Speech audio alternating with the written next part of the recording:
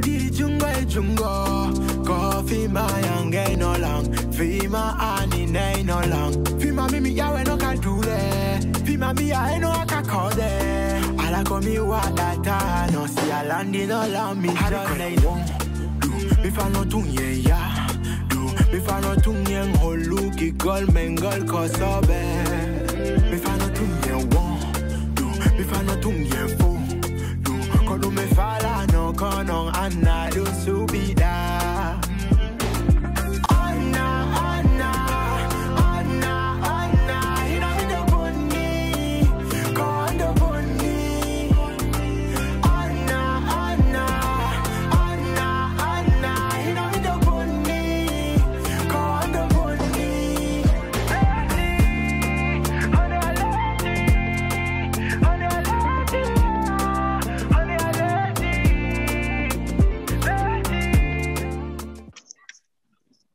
Alors, Jupiter, Mhm. histoire d'avancer un peu dans nos questions, je vais, je vais t'en poser deux, trois et tu me donneras les réponses au pif.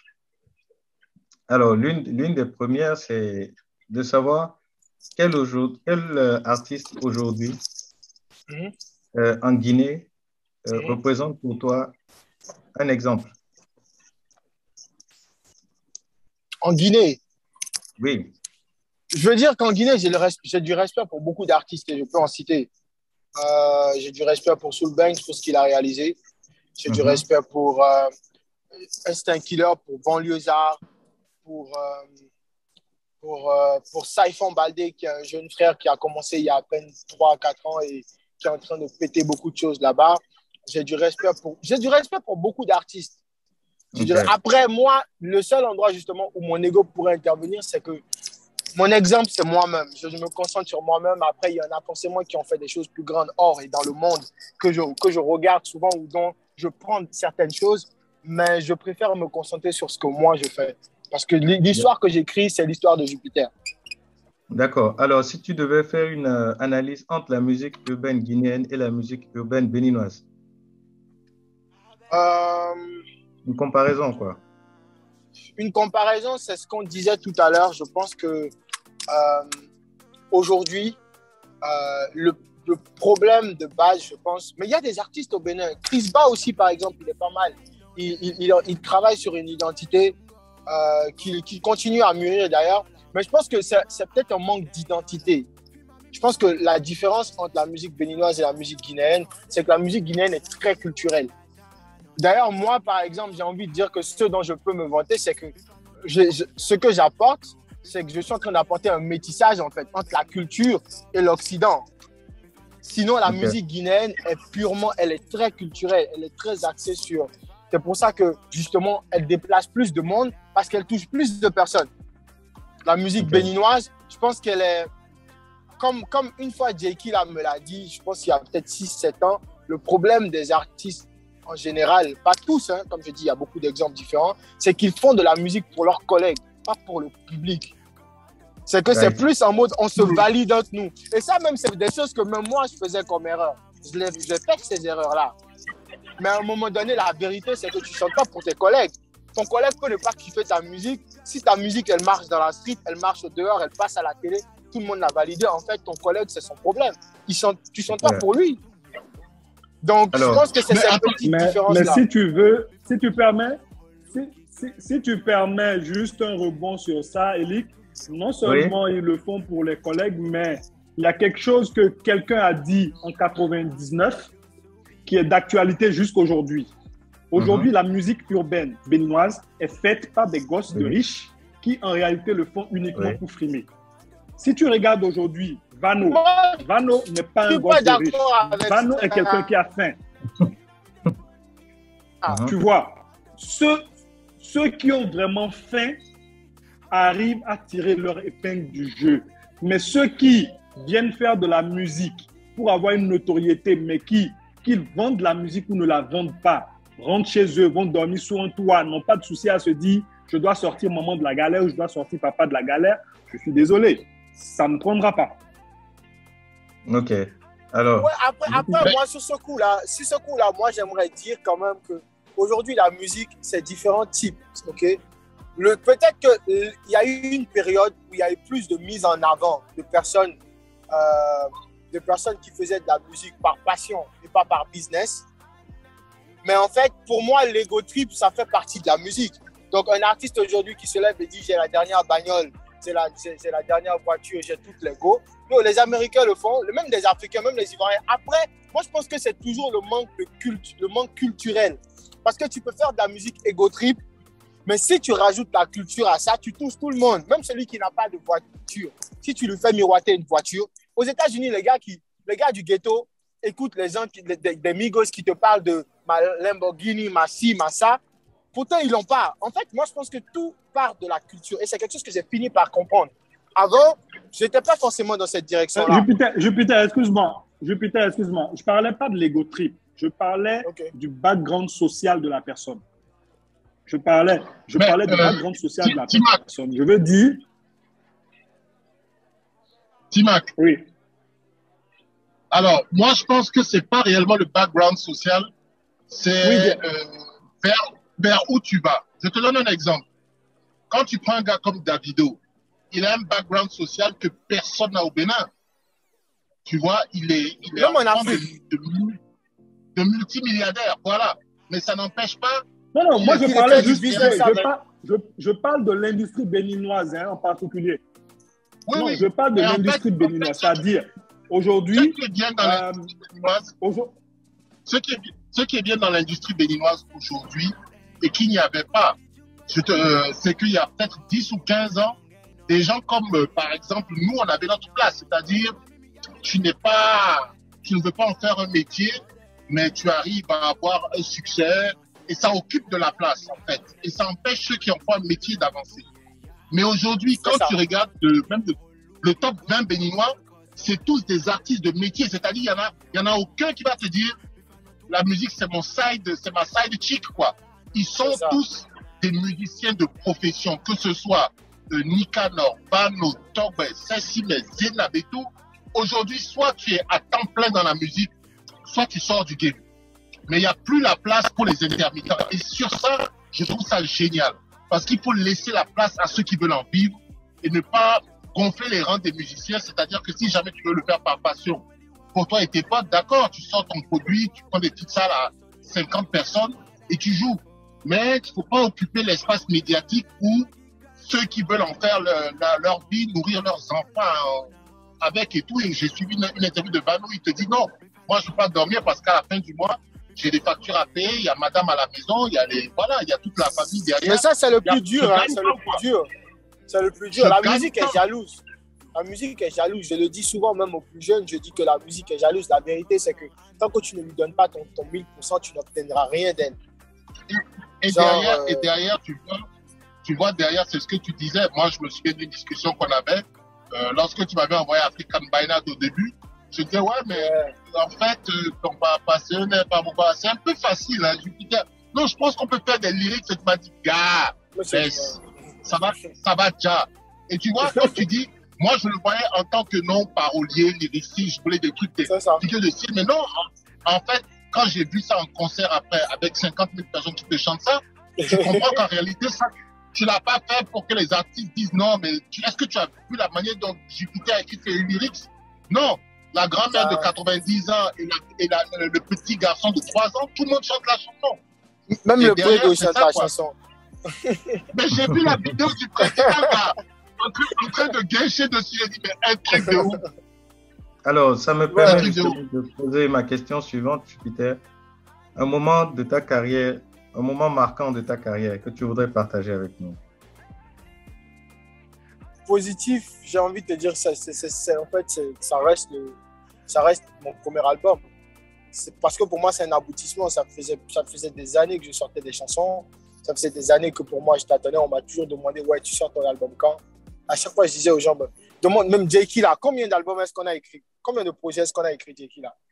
De 2012 jusqu'à 2000. on a écrit trop de projets, même des projets entiers, mais je ne me sentais pas prêt. Je ne me sentais pas moi, je ne me retrouvais pas. Alors, ce qu'il faut dire, c'est que Jupiter avait le talent de te dire euh, voilà, je veux un album qui parle de temps. Donc, on, développe chaque morceau avec ce dont on, va parler dedans. Tout, on a tout fait, on a fait. Tu commences à écrire la chanson, il t'envoie les beats, tu écris la chanson, tout ça, là, après, tu dis, non, gars, j'ai changé. Tu dis, ce gars-là de moi, quoi. Tout le temps que je passe dessus, On a écrit, là, on a écrit trop d'albums. On a vraiment fait des albums, en fait, même avec Jay. Des on a- albums on a- entiers. à distance, on a bossé sur des projets. Tu te rappelles des symphonies inachevées? Mais je te dis! Non. Non, mais on a, fait, on a fait vraiment de trucs. Mais après, je me sentais juste pas prêt. Je ne pensais pas que c'était le moment, que c'était l'endroit, comme tu le disais, en fait. Mais donc, moi, j'ai envie de te dire que mon plus gros, mon plus- ma plus belle expérience, ça reste mon premier concert. Bon, mon premier grand concert, le lancement de mon premier album. Et Fabel en chapitre 30, parce que c'était. Et même nous sur scène. Et ma mère, ma mère était sur scène, les gars. Ma mère était sur scène. Mon frère et moi, on était. Mais mon frère et moi, je pense que pour nous, c'était invraisemblable. Que voilà, donc pour moi, il n'y a pas. Je pense que c'est, il n'y a pas pour l'instant meilleur souvenir que ça, quoi. C'est, vraiment. euh, ouais, c'est, mon premier album. Et je suis Mais sûr que le deuxième sera encore truc. Mais dis-moi, de ton parcours, qu'est-ce que tu as. Où est-ce que tu penses que tu t'es bonifié? Je me suis bonifié dans mon ouverture d'esprit.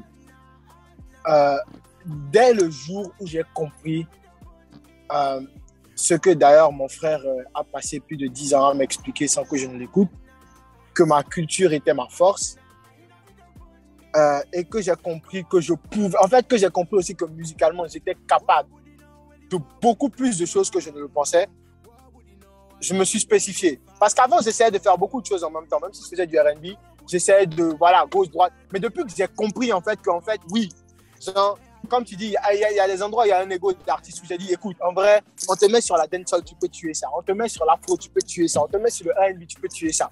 Mais maintenant, là, tu es qui? Dès que j'ai compris, en fait, qu'il fallait, en fait, porter, en fait, cette veste de base-là et que le reste, c'était Mhm. juste des, des trucs qu'il fallait changer, je pense que j'ai tout accéléré, en fait. C'est là que pour moi, j'ai commencé un peu. Parce que là, aujourd'hui, c'est devenu naturel. C'est genre, c'est plus en mode, OK, c'est quoi le next move? C'est plus en mode, qui es-tu? Ok. Alors, toi qui as eu la chance quand même de côtoyer hum, une génération avant toi, sinon d'autres, et qui aujourd'hui, euh, je dirais, tu fais office de grand frère pour une autre génération qui arrive. Que, quel conseil tu pourrais donner? Premier conseil, c'est si tu dis vraiment que tu aimes ce que tu fais, c'est que les concessions existent. Parce que comme mon frère le disait tout à l'heure, je répète une fois de plus, l'artiste, il a des égaux. Sais, tu peux dire que tu aimes la musique. Moi, je connais plein, je rencontre plein de gens qui vont me dire genre, ouais, mais je chante tout le temps. Je dis, mais le temps que tu lui accordes, c'est quoi? Et même si tu lui accordes du temps, c'est quoi la qualité du temps Dans tes recherches, en fait, qu'est-ce que tu fais justement pour te bonifier? Parce qu'aujourd'hui, tu n'as pas besoin, en fait, avec Internet, avec toi-même ton ouverture d'esprit, il y a beaucoup de choses que tu apprends très vite. Donc, la qualité, Alors, on va patienter un peu. La connexion de Conakry. Non, il n'est pas à Conakry, justement. Eh, C'est grave parce que là, quand même, moi, Il, je a- suis il dans est à un village. Dakar. Il est à Dakar. Il est à Dakar. Bon, c'est pareil. Dakar, Conakry, là, c'est même plus même tabac. Ah bon, hein? Regardez, moi, je suis dans un village et la connexion est meilleure. Franchement, quoi. Chacun défend son pays, quoi. Togo, toujours. Togo, Togo. Mais bon, alors, en attendant qu'il nous revienne, Timac,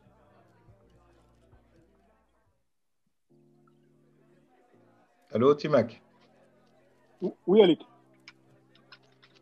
Donc, euh, je disais en attendant que Jupiter se reconnecte, euh, moi j'aimerais quand même que tu puisses nous dire un peu par rapport euh, à cette expérience, puisque toi tu as été un peu dans, l'ombre de Jupiter, comme il a dit, tu l'as accompagné, conseillé, managé sur un certain nombre de choses. Euh, sur ton regard sur euh, la musique béninoise et le potentiel qui existe.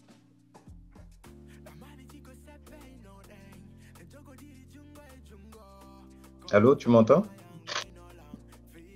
Bon, moi, mon regard, je pense qu'aujourd'hui. Oui, allô, je t'entends très bien. Je veux dire, le- la musique béninoise aujourd'hui, l'industrie, il y a vraiment des, beaucoup d'artistes de talent.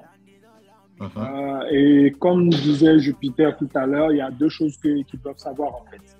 La première chose, c'est les concessions. Quand tu veux réussir, tu dois savoir euh, faire fi de certaines choses, accepter certains sacrifices, Mhm. ce que beaucoup n'acceptent pas aujourd'hui. D'accord? Et, euh, et deuxièmement, il faut vraiment euh, se donner à 1000%. Parce qu'aujourd'hui, on a des euh, talentueux, mais qui ne sont pas encore à 100% dans la musique au Bénin. D'accord? Et ça, Mhm. tant que tu n'es pas à 100% dedans, c'est pas, c'est pas évident et c'est pas facile. C'est pas du tout, du tout facile. Il faudrait vraiment déjà accepter. Parce qu'aujourd'hui, beaucoup d'artistes, comme je dis, il faut aussi que tu aies une vision. Parce que beaucoup Ouais. d'artistes, souvent, font de la musique. Pas peut-être pour les bonnes raisons. Aujourd'hui, quand je prends le cas de Dalaika, je pense, je dis Jekila. Jekila, c'est, euh, je veux dire, euh, c'est l'un des plus grands actuellement paroliers, musiciens, mais lui, il sait qu'il n'est, c'est pas pour en faire un métier. Donc, quand il sort son album, il n'est pas dans, euh, voilà, je, je veux faire ça. Il le fait par pur plaisir. Tu vois? Donc, Mhm. lui, il sait ce qu'il fait. Mais quand tu es un artiste que tantôt tu te dis non, j'ai un boulot, euh, voilà, j'ai un boulot, je dois bosser, j'ai déjà si, mais je veux faire de la musique. À un moment donné, tu risques de perdre des deux côtés parce que tu peux ne pas être efficace dans, dans ton boulot quotidien et ne pas être aussi euh, disponible pour la musique en fait. Donc, il faudrait vraiment, la musique, c'est un métier à plein temps et qui nécessite énormément de trucs. Et aussi, un truc, comme je disais avec euh, euh, un artiste hier, c'est que personne ne te doit rien. Personne ne te doit. Je dis, tu veux faire de la musique, ce n'est pas de dire non, j'ai appelé Lick, euh, normalement il a des relations, je, je lui ai fait écouter mon son, il devait m'aider à passer en radio. Je suis désolé. Personne ne te doit absolument rien. Pour être satisfait et fier de ton succès, tu dois l'obtenir toi-même. Ça, c'est très, très, très, très important. Quand, quand, quand, on aura, quand, quand la personne se met cela à l'esprit, après le reste, aujourd'hui, je peux, je peux appeler Jakey là, qui est un très, très bon ami, un frère, et il a, je lui dis, ah Jay, j'ai ce projet, est-ce que tu peux m'aider à toucher tel sponsor? Mais c'est pas parce que, c'est pas parce que euh, ça ne s'est pas fait que je vais en vouloir à Jakey là pour dire non, mais Jakey là quand même, que Jakey là va me dire, que je vais me dire non, mais Jakey là, voilà, il n'a pas voulu m'aider. Je suis désolé. Peut-être qu'il n'a pas, peut-être qu'il a déposé effectivement, mais c'est pas lui qui décide. Mais peut-être qu'il peut pas venir me dire, écoute, Timac, vraiment, euh, voilà, je, la personne à qui je dois remettre le dossier, je ne peux pas lui remettre. Je veux dire, personne ne doit rien à personne. Il faut travailler et il faut forcer le destin. Comme disait Jay, ce n'est pas une question de chance. Il faut être méthodique. C'est comme quand on cherche du boulot, on dit aujourd'hui aux jeunes stagiaires qui sortent de l'école, imprime ton CV, imprime 100 CV et va déposer dans 100 entreprises pour que Mhm. une entreprise puisse t'appeler. C'est comme ça aussi Ouais. de la musique. C'est comme ça de la musique. Tu vas envoyer aux, aux- aux- aux animateurs, dans la même radio, tu peux envoyer à 20 personnes et peut-être c'est la dernière personne qui, qui va se dire, mais le morceau là est bon, pendant que les 19 autres ont reçu, ont écouté, mais n'ont pas voulu le jouer à la radio. Donc, il faudrait cette persévérance en fait. Ok, je vois. Je retiens le mot persévérance et puis surtout cette envie de se battre pour aller de l'avant. Alors, vu qu'on n'a toujours pas Jupiter de retour, je continue à te poser des questions. Euh, c'est par rapport aux collaborations. Je sais que en ce qui concerne Jupiter, il a eu pas mal de, Oui. Je, vais dire de, duos, de, feats et sur, sur le prochain projet qui arrive, on pourra découvrir. Euh, toi qui es à ses côtés, peut-être tu répondras en son nom là.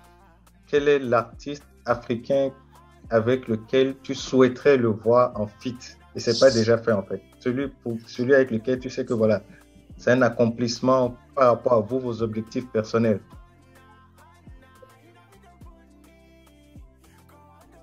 Hum, je vais peut-être euh, pas pouvoir te donner la réponse que tu attends, parce que Mhm. pour moi, une collaboration doit être voulue. Mhm. D'accord? Euh, Pour, si tu veux, pour rappel, ce deuxième album, on ne le produit pas tout seul. D'accord? Mhm. on a, euh, on a un, un producteur, un coproducteur, si tu veux, avec qui je, je travaille, qui est Amadoun Sidibé, d'accord, qui est quelqu'un de très connu dans le milieu euh, au Mali, en France, etc. Si tu veux, c'est le l'initiateur du projet K56 à Paris. Jake la doit connaître, euh, le, le, projet de basket K56. Donc, c'est lui qui, euh, voilà, on, on travaille moi aussi, avec lui. Moi aussi, moi aussi, je vais investir dans l'album aussi. hein. On se voit après. D'accord. D'accord. Donc, euh, pour moi, je, comme je disais à, à Madoun dernièrement, un, un feat, en fait, il faut que ce soit voulu par les deux artistes. Moi, dans ma stratégie, je ne me vois pas appeler un artiste aussi, euh, aussi euh, talentueux, aussi euh, ayant une renommée, pour qu'on fasse un feat si après, c'est juste que c'est à nous seuls que cela va profiter, c'est nous seuls qui allons vraiment défendre ce projet. C'est ça souvent aussi les Sauf erreurs, de- si- les, les problèmes de collaboration. Tu vois Sauf si, sauf si Donc- c'est Madonna, Jay-Z ou Beyoncé, quoi. Franchement. Bon, non, sauf si c'est Wyclef. Sauf si c'est sauf si c'est Wyclef. Voilà. Moi, si c'est Wyclef, ouais. Ma question est orientée plus par rapport à ce qu'on dirait un coup de cœur, quelque chose qui vient plus des émotions, pas forcément quelque chose qui est logique ou hyper rationnel. Je ne sais pas si tu comprends ce que je dis. Non, je comprends, Eric, mais comme je te dis, moi, tu sais, je suis beaucoup plus orienté business. Moi, je suis beaucoup plus orienté rentabilité, beaucoup plus truc. Donc, à ce niveau, peut-être Jupiter aurait pu euh, te dire, voilà, je, je souhaiterais faire un feat avec telle personne. Mais moi, de mon, de mon avis, quand je regarde tout, parce qu'aujourd'hui, faire un feat, je dis n'importe quoi. Je fais un feat aujourd'hui avec Fali ou je fais un feat avec Diamond Platinum, c'est de l'argent que ça va me coûter. Parce que même si je ne paye pas l'artiste, c'est moi qui vais produire la vidéo et travailler sur tout. Mais si je dois investir tout cet argent et que je ne sens pas, euh, je veux dire, c'est après, c'est moi seul qui vais aller sur les médias parler de ce projet, d'un point de vue, euh, pour moi, c'est pas ça, quoi. Donc, j'ai pas forcément de, de coup de cœur. On a Jupiter. Jupiter, la question est, quel est l'artiste? Jupiter, tu es là? Jupiter, tu es en mute. Ok, je suis là. Tu as mute. Bon. On Je demande suis là, quel est je suis là, je l'artiste suis là. avec qui. Quel est l'artiste en, en termes de coup de cœur, que l'artiste euh, en coup de cœur que tu aimerais avoir en feat sur ton, al- sur ton deuxième album? Euh, top 3. Fali Poupa. Euh, Fali Poupa premier. Euh, je dirais en deuxième. Euh, Ayana Nakamura. Ok. Et en troisième. Euh, Econ. Ok, ok, cool. je vois. Mais je suis sûr que j'aurai Econ pour mon troisième album. Si je ne l'ai pas sur le deuxième. Ça, là, notez ça quelque part. Lui, là, si je- tant que cas- je n'ai pas fait avec lui, c'est pas bon. En tout cas, on te souhaite d'avoir tout ce que tu, tout ce avec qui tu aimerais travailler. Amen. C'est ça.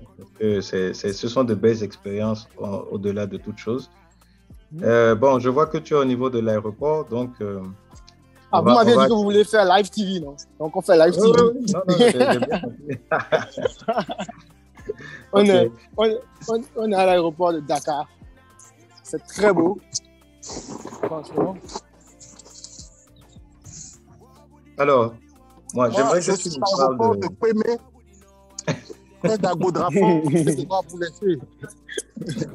Ok, Jay, on fait comme ça. Jay qui t'être on se reparle, on, on se reparle pour le financement de l'album. Hein.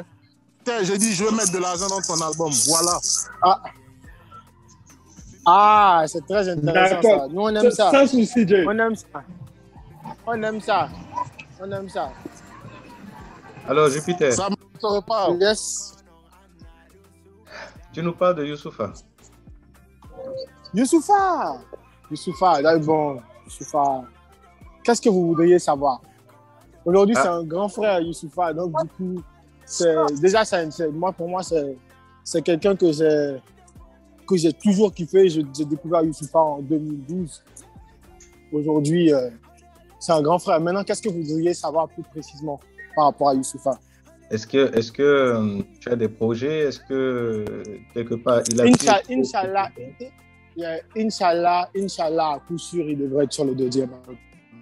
Ok, ok, cool. Euh, l'histoire- Mais, yeah.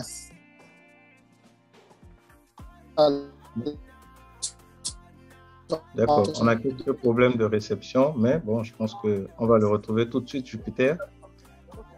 Pas de souci. Aéroport de Dakar. Ah, voilà, il est de retour. Alors, Jupiter.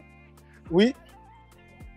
Ben, écoute. Non, je disais à coup sûr qu'il sera sur le deuxième album, Inch'Allah. D'accord. Tu as produit un certain nombre de, de, morceaux, tu, as eu pas mal d'expérience. Parmi ce que toi-même tu as réalisé, qu'est-ce mhm. qui, quels sont les morceaux que tu aimes beaucoup? Peut-être parce qu'il y a une histoire personnelle, peut-être parce que c'est un vécu derrière. Quels sont les morceaux que tu aimes beaucoup? Moi, les morceaux de moi que j'aime beaucoup, c'est les morceaux les plus tristes. ok. C'est Je n'y arrive pas. Après, pas si triste, il y a Je n'y arrive pas. Il y a Inch'Allah qui, pour moi, c'est mon. C'est le morceau que je suis. J'ai envie de dire, c'est le morceau que je suis le plus fier d'avoir écrit parce que pour moi, c'est une testimony et qui va me permettre, il va me servir de baromètre pour le reste de ma vie. Euh, c'est près de moi pour l'histoire parce que c'est le tournant de ma carrière. C'est quand j'ai fini d'écrire près de moi que j'ai eu le courage de dire OK, je démissionne, je quitte les États-Unis, je suis prêt à prendre le risque de faire de la musique mon travail. Et ça, c'est après avoir fini d'écrire près de moi. Euh, ensuite, euh, c'est Africa by Night parce que c'est l'histoire qui m'a qui m'a en fait connecté directement avec la Guinée. C'est le morceau pour moi qui était l'annonce de mon retour en Guinée. Donc chacun a une petite histoire, mais c'est, j'ai envie de dire ces quatre-là ont, ont, des histoires précises en fait, ont des attachements précis. Ok, ok, on retient ça alors. Alors, euh, Jupiter dans cinq ans. Dans cinq ans, Wouh Jupiter dans cinq ans, c'est quoi? Trois albums, euh, un bon tour du monde, sûrement sur plusieurs continents. C'est c'est beaucoup d'investissement. C'est-à-dire à côté, c'est du business. C'est May Industry qui est mon, mon agence, c'est Africa Play. Euh, qui, parce que je fais partie d'Africa Play. Africa Play, c'est notre bébé. Euh, c'est Jupiter dans 5 ans, c'est très très intéressant. Je serai peut-être même plus souvent, tu vois, en chemise, tu vois, un peu. Tu vois, c'est Jupiter dans 5 ans, c'est autre chose. C'est autre chose, c'est autre chose. Mais yeah, Jupiter dans 5 ans, c'est très intéressant. Alors, une réaction de, de, de fans mm-hmm. qui t'a marqué?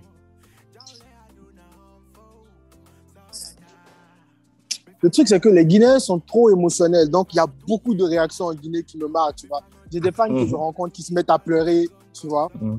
euh, qui se mettent à pleurer. J'ai des fans. Les Guinéens, sont, ils donnent beaucoup d'amour. Du coup, c'est. Après, j'ai pas que des fans guinéens. En Côte d'Ivoire, j'ai eu des trucs. Au Sénégal. Hier même, je suis sorti ici. Là, j'étais au 154. J'ai pris une tonne de photos avant de sortir. J'avais l'impression d'être en Guinée. Mais en réaction de fans, je pense que yeah, c'est plus ce genre de réaction-là. Il n'y a pas une réaction spécifique, mais en général, la façon dont les Guinéens te donnent du love, c'est spécial. Ok. Alors, playback ou live? Live, vous savez. moi, je suis monsieur. Moi, moi-même, T-Max, c'est ça. Si j'avais le choix, alors là, il y a des moments où même je vais imposer un live et puis on me dit, bon, écoute, attends un peu, tu vois, ou des choses. Mais si moi, s'il ne tient qu'à moi, c'est du live c'est du live tout le temps parce que tu le vis, quoi. Ok. Un message pour Daleka Media. Félicitations à Daleka Media pour ce, que vous faites déjà. Euh, merci pour la force et euh, continuons de grandir ensemble. Allons-y. Merci. Alors, on a reçu Jupiter, que j'appelle un artiste africain, parce que franchement, il a su conquérir l'Afrique.